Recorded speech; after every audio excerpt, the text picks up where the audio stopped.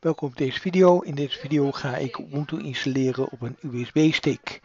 Ik heb in dit geval heb ik een USB-stick van SanDisk. En de USB-stick heeft een capaciteit van 16 gigabyte. Dat is ruim voldoende. Ik heb al eerder Ubuntu geïnstalleerd op een USB-stick van 8 gigabyte en dat gaat ook prima. In dit geval heb ik 16 gigabyte. Ik heb ook genoeg ruimte om andere files in op te slaan. En ik ga hier Ubuntu op installeren op een USB-stick van SanDisk. 16 gigabyte. Ik doe de, uh, de USB-stick moet nog aansluiten op de computer.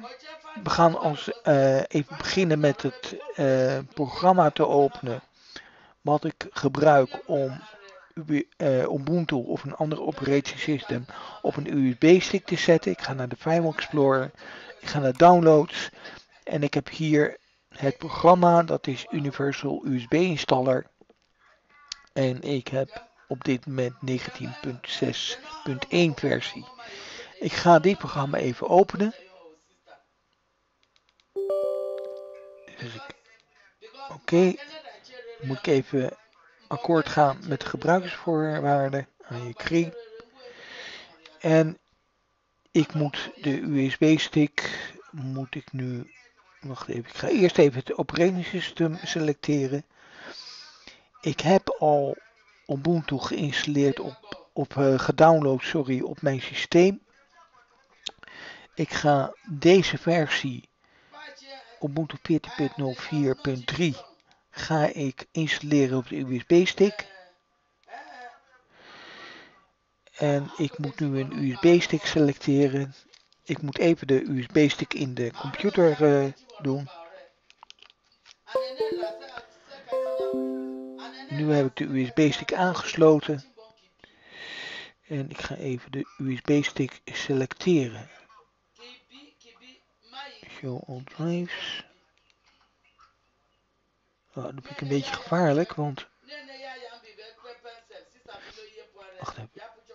Uh, selecteer, select your USB flash letter only.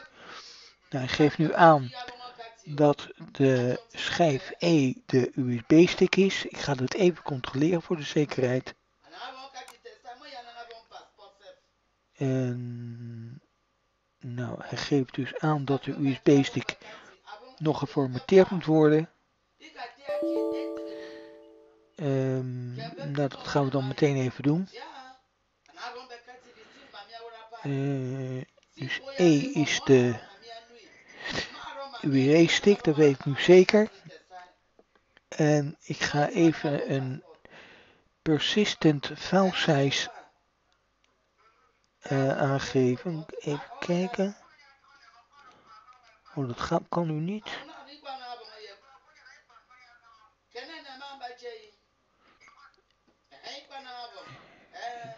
Create. Nou, dat gaat dus niet. Ik moet even de USB-schijf, moet ik... Ik ga hem even formateren. Zo. Nu wordt de USB-stick uh, USB wordt um, geformateerd. Uh, test Ubuntu. Oké. En nu begint het programma om de USB-stick te formateren. Hij heeft nu klaar. Ik ga even terug naar het programma Kijken hoor, naar downloads. Ik ga het even opnieuw openen.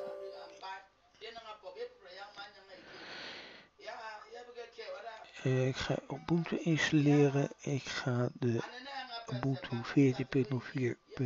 14.04.3 installeren op mijn ISO-schijf. Op mijn uh, USB-stick, sorry. Show all drives. Test Ubuntu, dat hebben we net uh, gemaakt. En nu kan ik een, nu de USB-stick uh, geformateerd is, kan ik dus een persistent file uh, grootte kan ik dus aangeven. Nou, laten we zeggen, ik heb een USB-stick van uh, 16 gigabyte. Daar gaat 2 gigabyte vanaf. En ik heb dan 14 gigabyte over. Daar kan ik makkelijk 2 gigabyte voor gebruiken. Zeg ik create. Ja. En nu gaat het beginnen. Nou, nu worden de files op de USB-stick geschreven. En dat kan even duren. Alhoewel het vrij snel gaat. Ik denk dat dit een uh, minuutje of twee duurt. Um, wat wel erg lang duurt is de persistent file. Die moet aangemaakt worden op de USB-stick. En dat kan best even duren. Dat kan wel een half uur duren. Nou, het ligt, ik kan ondertussen even wat vertellen waarom ik graag Ubuntu op een USB-stick doe. Er hebben eigenlijk twee redenen. Ik kan de USB-stick kan ik meenemen als ik ergens anders ben. Uh, op een andere locatie kan ik de computer opstarten met de USB-stick en kan, ik kan gewoon verder gaan met mijn werk. Op de USB-stick staat dan Ubuntu geïnstalleerd. Al mijn bestanden die ik gebruikt heb. Um, stel je voor, ik ga hier werken. Ik maak een Word-document aan van een Excel-document. Uh, dan kan ik dat gewoon uh, bewaren op mijn USB-stick. Ik ga naar een andere locatie. Bijvoorbeeld, uh, ik ga van uh, Rotterdam naar Groningen. In Groningen hè, doe ik de USB-stick in een andere computer. En ik kan gewoon verder gaan met mijn werk. Is ideaal. wat ik ook altijd doe.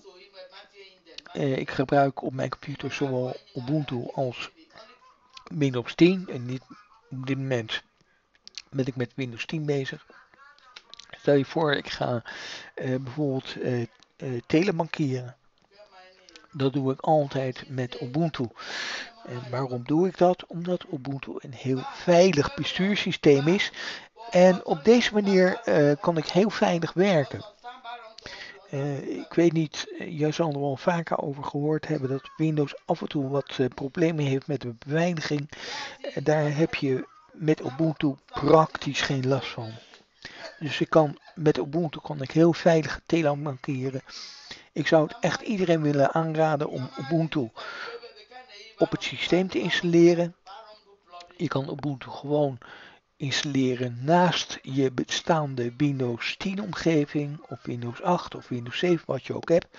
En dan kan je gewoon, uh, als je de computer opstart, kan je zeggen van nou ik ga verder met Ubuntu of als je dat wil, ga je verder met Windows. Oké, nou. Ondertussen zijn we al wat verder met de installatie van de systeembestanden. En uh, ja, uh, met Ubuntu uh, is sowieso een heel fijn operatingsysteem. Ubuntu is een Linux distributie en je kan echt alles mee doen. Uh, kijk even op mijn videokanaal, dan zie je nog meer toepassingen die je kan doen met Ubuntu. En echt uh, enorm wat, je, wat er allemaal mee mogelijk is. Uh, ik heb op mijn Ubuntu machine heb ik ehm, een, een, home server staan. Ik heb een home server erop geïnstalleerd. En ik kan dan programmeren in PHP en MySQL. Nou, nu gaat, nu wordt het, uh, zijn alle files op de USB-stick weggeschreven, op een paar na. En nu is het programma bezig met de persistent file. En ja, er staat er ook bij, de progress bar will not move until finished. Please be patient. En dat staat er niet voor niks, want deze actie kan best even duren. Uh, het is nu 15 uur 15. We zijn ongeveer uh, 5 minuten of 8 minuten eerder uh, begonnen met de installatie van Ubuntu op de USB-stick. En het kan best zo zijn dat dit ongeveer 10 minuten duurt. Dus Ik zet even de, de video op pauze. En dan gaan we zo meteen even verder als die klaar is. Het is nu 15 uur 20 en het programma is nog steeds bezig met de persistent file zoals je ziet. We moeten nog even geduld hebben. Ik zet nu even op pauze. Het is nu 15 uur 23 en het programma is nog steeds bezig met het creëren van de persistent file. We moeten nog even geduld hebben.